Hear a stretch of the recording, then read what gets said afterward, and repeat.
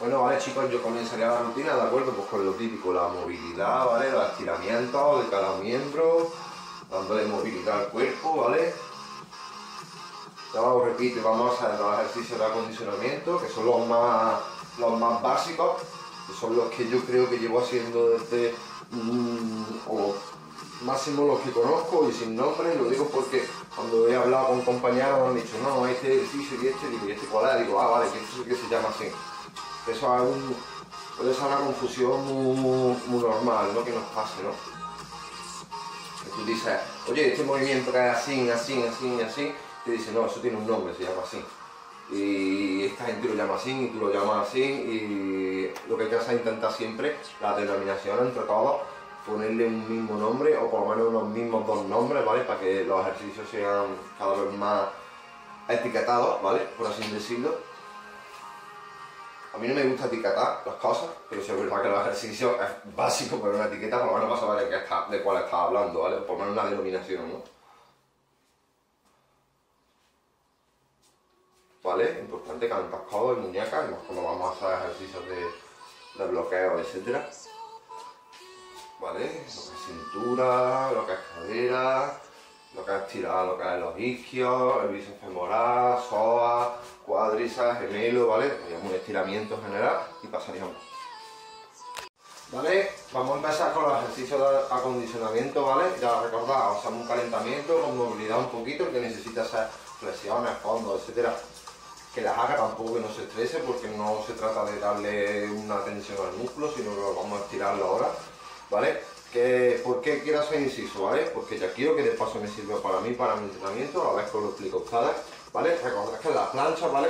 Eh, hay que bloquear los codos, ¿vale? Voy a poner este que es el codo, el que más me cuesta y el que más es donde tuve la lesión, para ir ya calentándolo como yo digo, ¿vale? Recordad que lo que os he comentado, yo el error que cometo cuando hago una plancha muchas veces es que desbloqueo el brazo o simplemente ya la tiro con el brazo desbloqueado y genero mucha tensión en el codo, ¿vale? Por no decir que el mayor porcentaje de, tensión lo genero en el codo, ¿vale? ¿Qué quiere decir? Para que lo entendáis más o menos, si yo estoy, el suelo está aquí, ¿de acuerdo? Yo estoy en posición de plancha, ¿vale? Es que mis codos deberían estar aquí, ¿vale? ¿Os dais cuenta? Recto o semi-recto, ¿vale? Recto, ¿vale? Y yo, sin, yo si os dais cuenta, a ver, también muchas veces lo que le digo a la gente que yo no estaba acostumbrado, ya es que yo a raíz de la lesión tengo hiperlasia en este brazo igual que este. Este es verdad que lo bloqueo, pero no se me queda, o a lo mejor es por el visual de, la zona de visas que falta, ¿no? Pero yo, por ejemplo, ¿vale? Lo que queremos tratar es de que si en plancha con la tensión a mí se me queda el brazo así, ¿vale? Conseguir que esté ahí, ¿vale? Por lo menos en un bloqueo, ¿vale? Cómodo, ¿vale? Entonces, eh, como vamos a estar aguantando, yo voy a hacer durante series de 8-10 segundos más o menos, como lo vamos a hacer de primera, ¿vale? Lo que vamos a ir es, para empezar, no coger una goma que nos tire mucho, sino una goma débil, ¿vale? O suave. Y lo que vamos a hacer es ir cogiendo inclinaciones, ¿vale? Porque si os dais cuenta, aquí nos tirará un poco, aquí, y conforme vayamos subiendo más, nos tirará. Entonces lo vamos a hacer de dos formas, o por lo menos yo lo voy a hacer de dos formas. Lo voy a hacer, estamos hablando que este es el más básico, ¿vale? Lo voy a hacer con isométrico, ¿de acuerdo? Es decir, aguantarlo, y otro que sea de positiva, ¿vale? Es decir, subiendo y bajando. ¿Cómo viene a hacer el ejercicio? ¿Cómo lo haría yo? Bien, pues se puede pisar con dos manos, con, perdón, se puede pisar con un pie o con, o con dos. Si lo pisáis con dos, aseguraos siempre de que la apertura sea cerrada, ¿vale? Más que nada para no perder mucha distancia de goma, ¿vale? Y simplemente aquí, o cuando, cuando estamos con nuestros codos aquí bloqueados, ¿vale? Sería subir y aguantar ahí. A mí esta goma, aunque parezca que no, lo voy a poner en un pie nada más, que es lo que os quiero decir, porque me tira bastante. Ahí, la parte ya el primero, ¿vale? Entonces queremos algo suave. Es decir, sería ahí.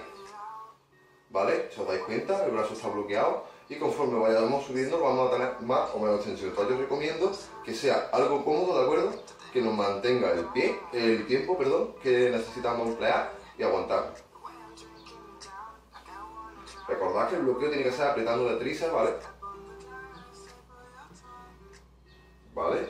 Soltamos, damos movilidad al brazo, muy importante, ¿vale?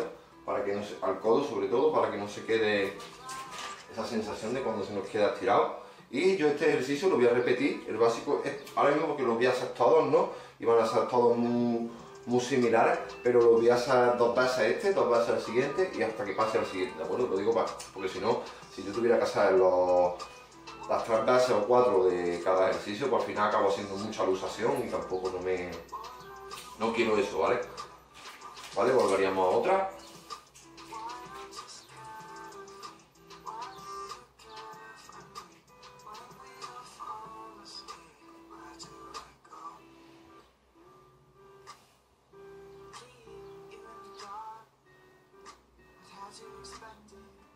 Vamos jugando con la tensión, ¿de acuerdo? A poner un poquito más cerca para que lo veáis.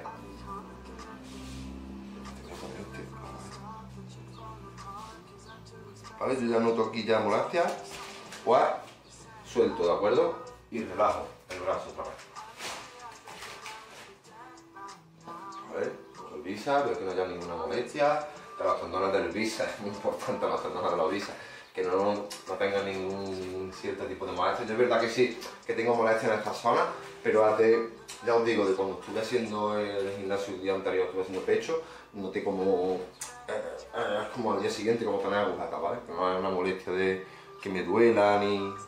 Bueno, a ver, pero no, si duele, eh, vez que no te pueden mover y te tocan nada más que, que te toquen el pecho te, te molesta, pero que Muchas veces yo soy los que con el mismo ejercicio se me ha ido quitando la agujeta y como sigue, te vuelve a hacer, sigue, te vuelve a hacer, en fin, es un, ciclo vicioso raro.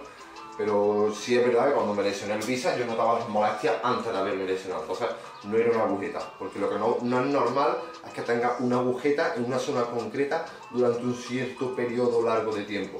Puedes tener agujetas que van cambiando, variando, dependiendo de las actividades que hagamos, pero cuando tú tienes una agujeta, un síntoma como una agujeta, en una zona concreta durante mucho tiempo, ya muy específico, o afloja o ahora te mira eso porque puede ser una posible lesión que te venga. Lo digo porque las experiencias, son, las lesiones son una mierda y son malas, son frustraciones, pero lo único bueno que tienen es que aparte de que te enseñan a las rocas cometidos, eh, te dan la experiencia para poder explicarle a otros el proceso previo a una lesión por si le puede evitar una persona una lesión y creo que eso es algo muy, muy, muy importante. De todas maneras, yo soy persona que yo me he lesionado muy, muy, muy poco y equivocadamente yo tenía el concepto de va bien, va bien, va bien sin lesionarse, pero las lesiones ocurren y es verdad que leí algo que me... un consejo de Em, consuelo, el mal de muchos consuelo de tontos, ¿no? Y es que una persona, un atleta, cuanto más top, más probabilidades tiene de lesión y un atleta sin lesiones como un campo sin flores. No, hombre, a ver, os digo mi forma sincera, ¿vale? Si podéis evitar la más mínima o una lesión en la vida, evitadla, porque es mejor. Pero si ya os he dicho que estos elementos de palanca, de bloqueo son lesivos y que vaya a tener ese riesgo, entonces asumirlo, ¿vale? Asumirlo, como yo, como yo lo asumí y me he lesionado y me ha jodido mucho, pero lo he asumido porque he elegido este camino, ¿vale? ¿Vale? Ahora podemos hacer el mismo, ¿de acuerdo? Pero con una barra. Una barra que tengamos en casa o que queramos, ¿de acuerdo? La estiramos ahí, con el bloqueo, le estiramos y aguantamos. Buscando siempre que el visa esté estirado, ¿vale?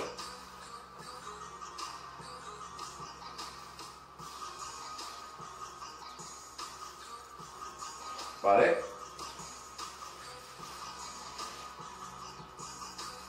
¿Vale? Este sencillo, una forma de hacerlo en supino, ¿vale?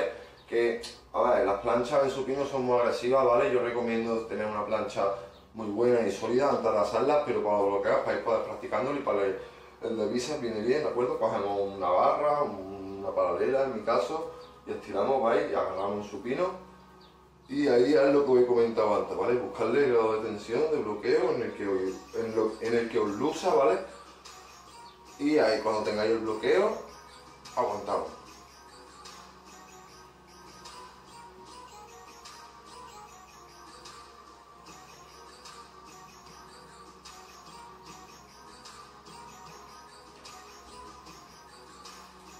¿Vale? Este sería forma de hacerlo con barra y en supino, ¿vale? Que sería muy parecido a los controles que hemos dicho, ¿vale? os comento, esa es la parte, digamos, el ejercicio más light.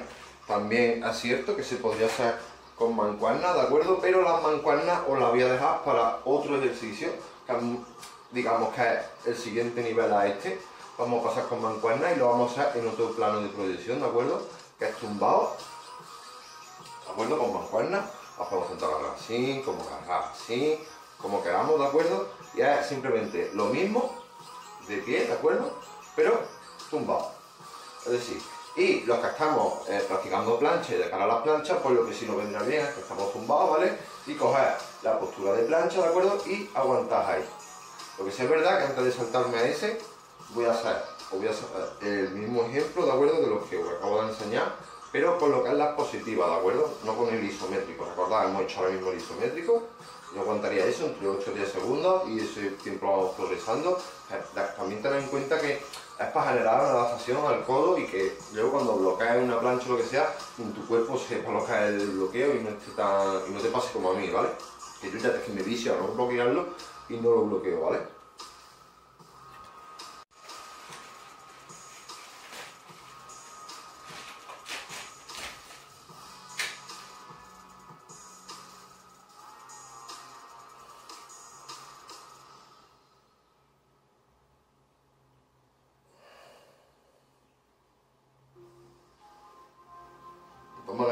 Dicho que íbamos a hacer hombros, estos ejercicios nos vienen bien, ¿vale?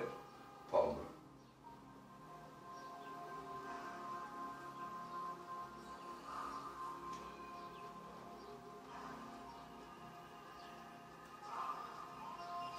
¿Vale? Ese sería el positivo.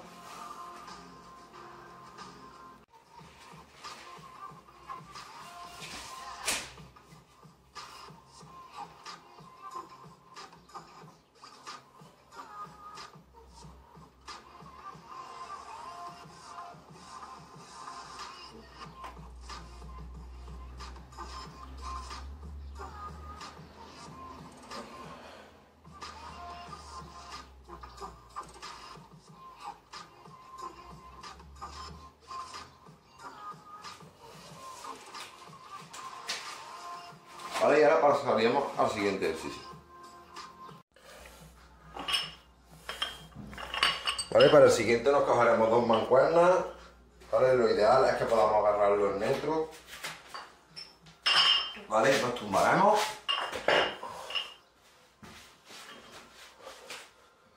Vale, y de abajo, ok, mi primer consejo, ¿vale? Es que jugamos con los agarres. Es decir, nos tumbamos, ¿vale? Cogemos un agarre neutro y simplemente sea ahí, va y aguantar. ¿Vale? Recordad, no recto, sino que inclinarla un poquito hacia adentro. Ahí.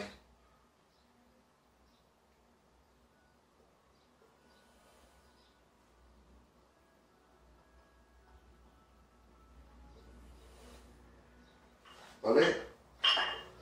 Yo este lo haría tras serie o cuatro durante 10-15 segundos, pero eso, claro, tiene que estar depende de la resistencia de cada persona. Es decir, si yo te digo a ti 10-15 segundos, pero tú a partir de los 6 segundos ya no va a pasar a fallar el estático que tiene que estar inmóvil, ¿de acuerdo? Y el, bloqueo con el visa estirado, pues no sirve de nada, ¿vale? Cada uno adaptámoslo más o menos, decir, pues mira, yo a partir de los 8 segundos pierdo pues nos dejamos un segundito, ¿vale? Pues poco ir forzando, ¿vale? Y trabajando con esos segundos, ¿vale? Y ese otro. Recordad, el agarre neutro y lo que hacemos lo giramos un pelín hacia adentro, un pelín, ¿vale? Y mantenemos lo que es el bloqueo. Y lo que estamos de cara a las planchitas, pues ya sabéis, bloqueo, y ya vamos haciendo nuestro hollow, ¿vale?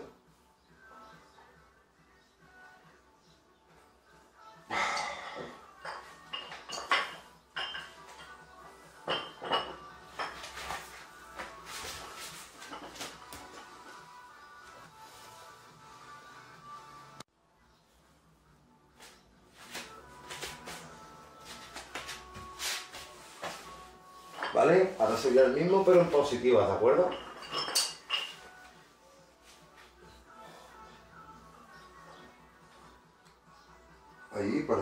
Aquí vamos generando tensión, ahí, hasta donde podamos y aguantamos arriba.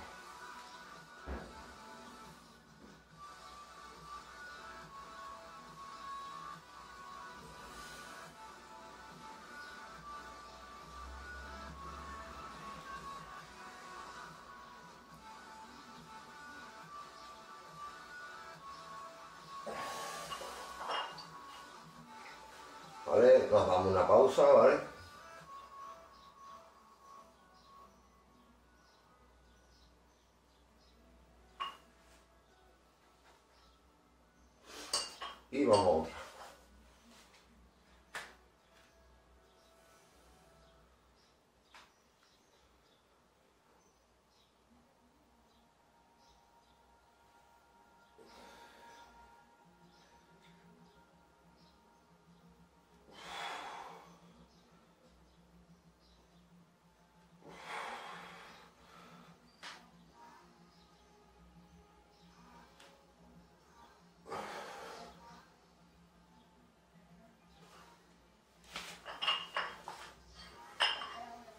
¿Vale? Recordad, esos dos serían con el agarre neutro.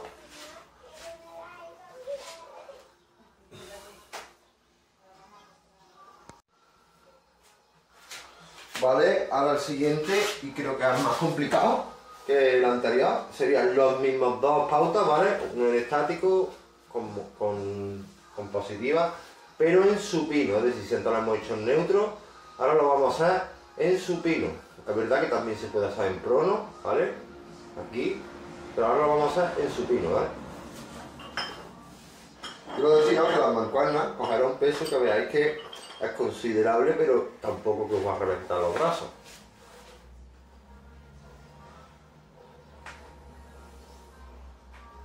Ahí, y lo aguantamos, ¿vale?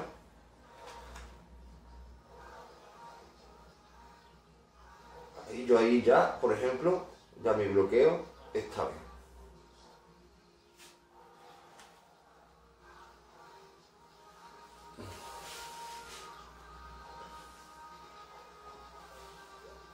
Con eso contamos áreas de 10 segundos, 8, 15, que necesite mucho.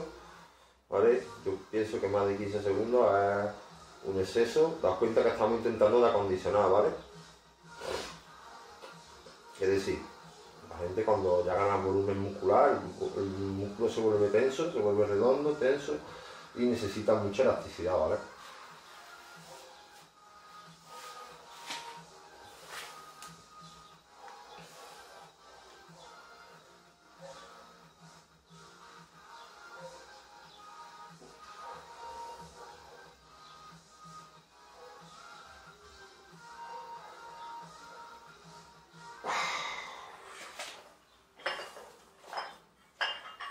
Recordad, yo haría eso, tras áreas de cada ejercicio, pero como estoy haciendo todas estas variables distintas, ¿vale? Para enseñaroslas, y yo a lo mejor mi rutina solamente haría dos, o en, en prono o en supino, ¿vale?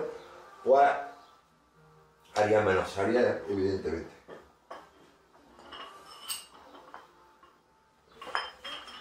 ¿Vale? En prono, ¿de acuerdo? En estático,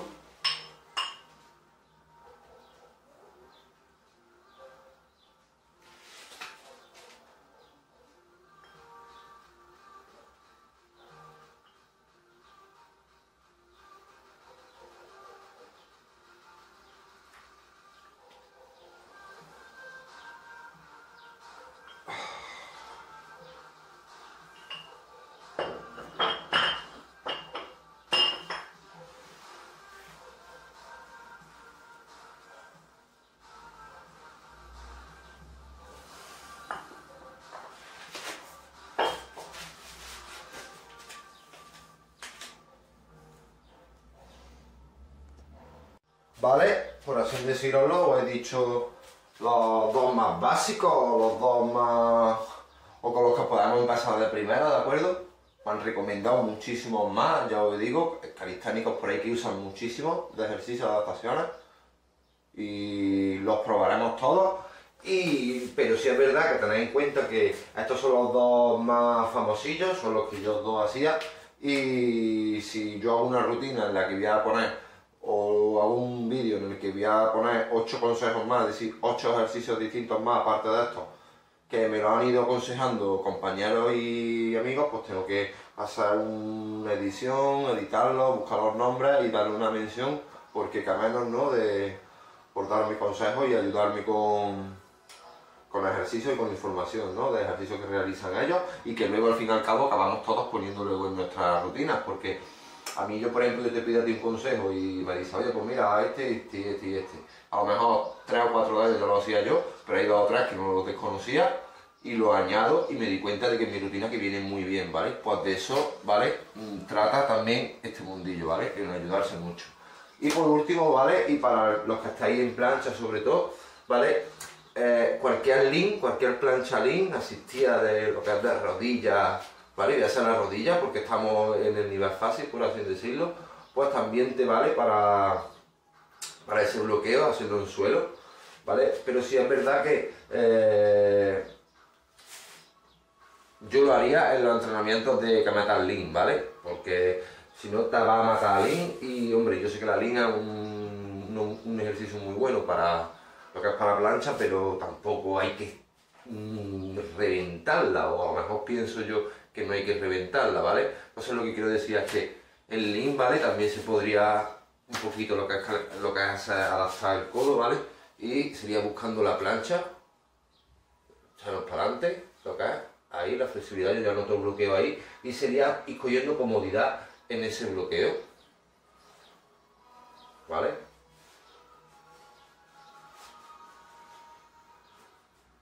¿Vale? He hecho normal, en suelo, se podría hacer en paralela, se podría hacer en supino, se podría hacer en prono y abierto, ¿vale? Me han hablado de uno de es como mantén abierto, ¿vale?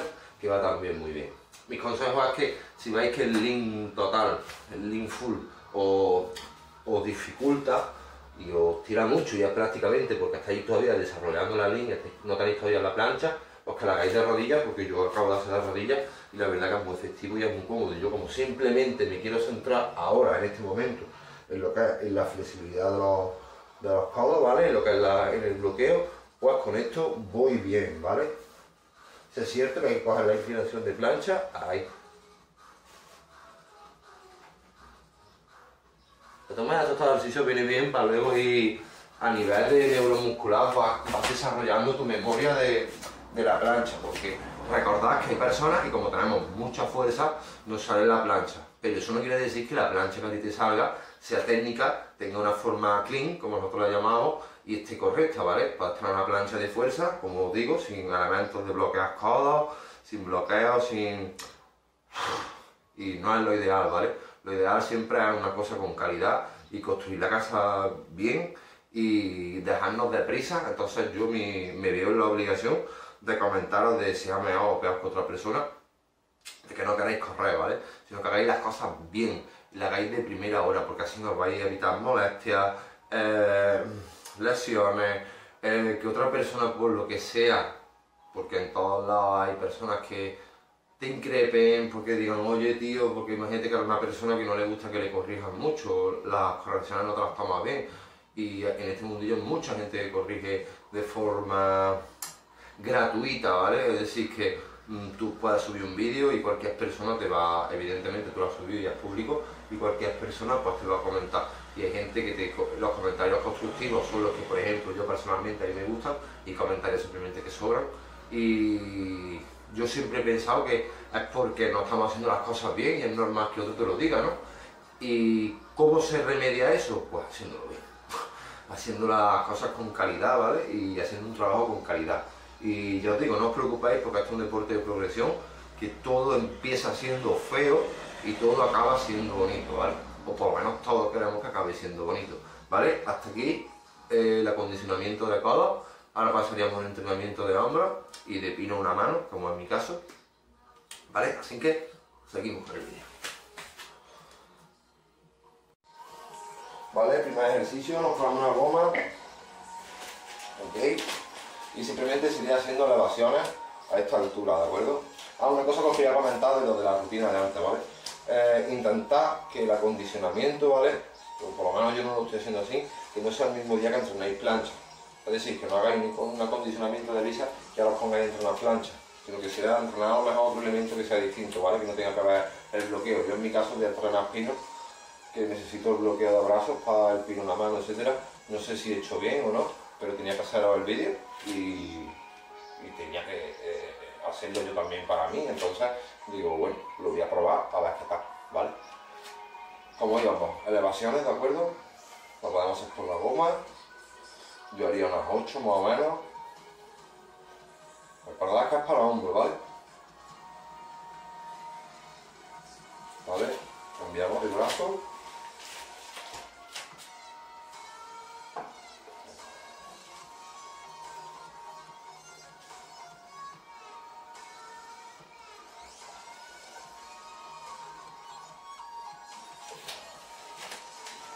Una pausa, unos 10, 15 segundos.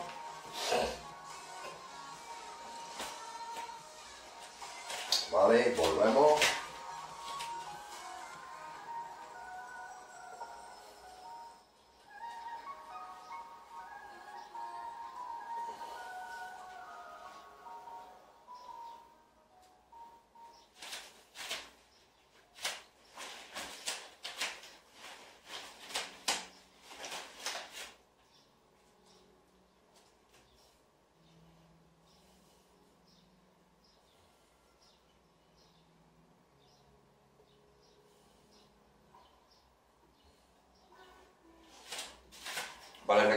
si usáis pesos muy elevados, mm, ojo con el brazo bloqueado de aquí, sino que sea un poquito de tensión, ¿vale?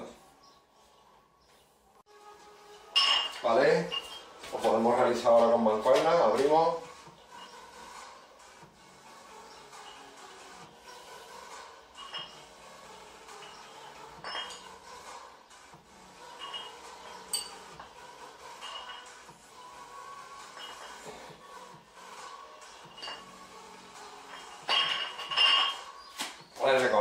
8, hasta tenemos la tensión ahí y no llegamos a apoyarnos, sino que nos quedamos aquí. ¿vale?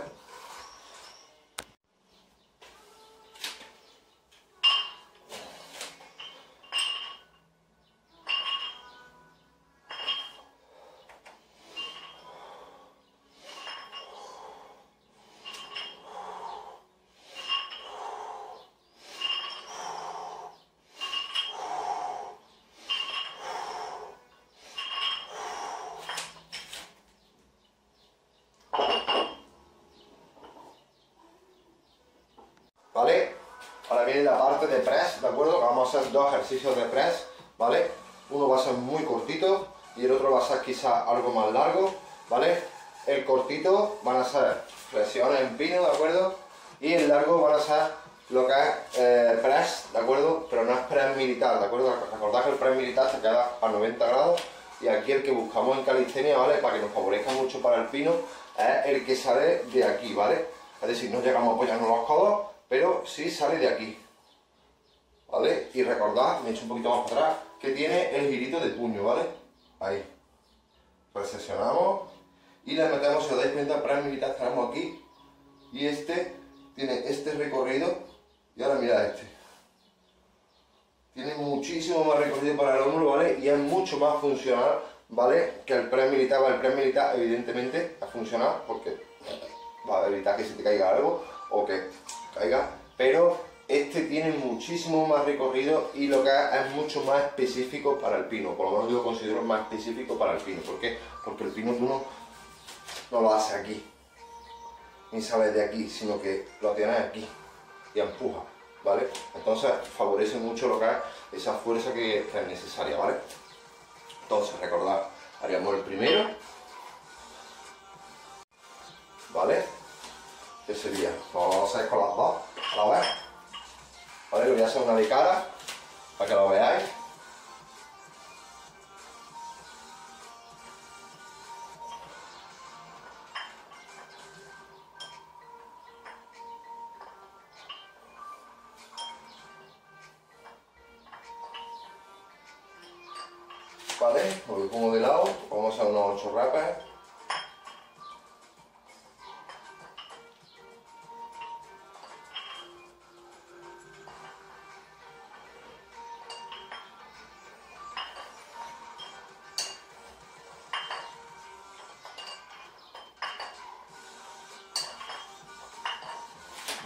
Sería el cortito. Recordad, haría dos veces o tres, ¿vale? 8 10 repeticiones y descansaría unos 30 segundos, 15 segundos. ¿Vale? Vamos otro.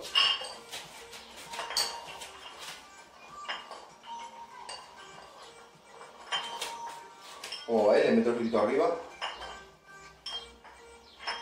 También vamos a acostumbrarnos a agarrar las pesas bien. El dedito por dentro. Porque generamos más tensión en la mano y en la muñeca y por lo general nos pesarán más. ¿Vale?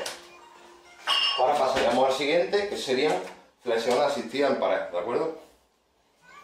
De pino. ¿Vale? El siguiente, flexiones de pino, ¿vale?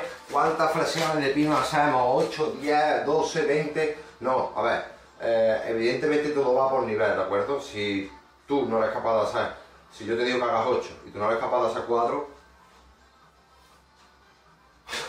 tienes dos opciones.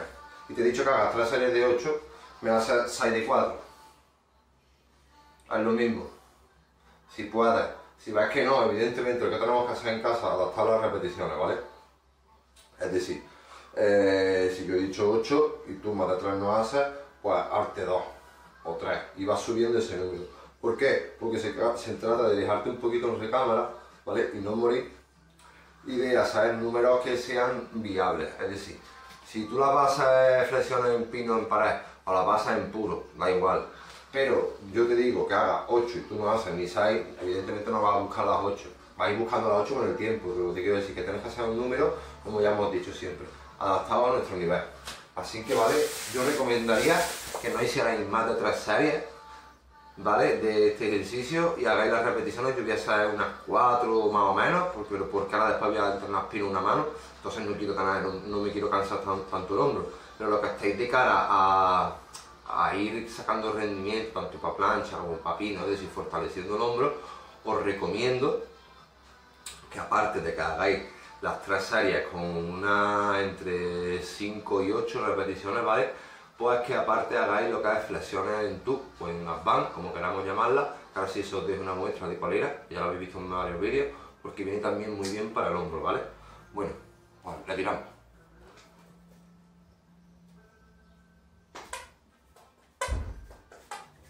pegadito la mano.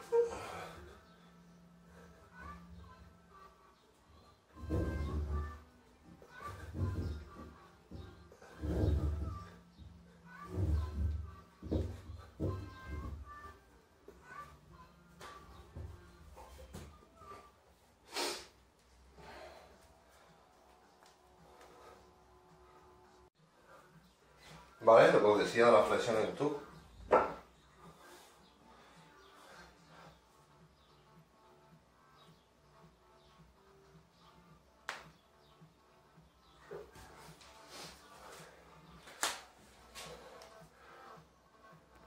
Vale, perdonad, una cosa que se me acaba de ocurrir ahora, ¿vale? Que no quiero que se me olvide y dejarla pasar, aunque no tenga nada que ver, lo dejo apuntado en este vídeo, es que eh, los que queráis plancha, etcétera, para lo que es la inclinación y acostumbraros a esa tensión, esa, eh, practicáis mucho lo que es la, flexión, ¿vale?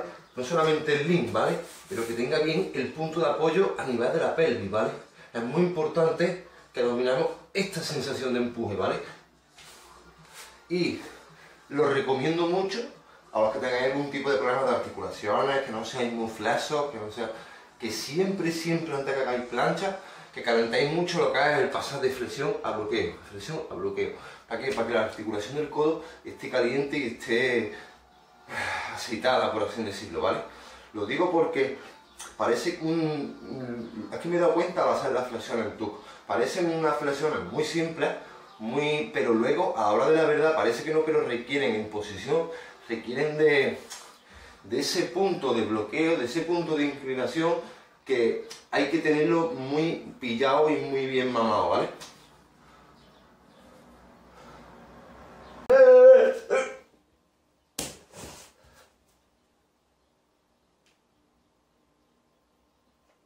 Ya